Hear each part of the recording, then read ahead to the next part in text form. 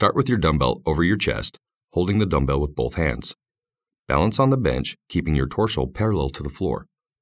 With arms straight, slowly lower dumbbell behind your head.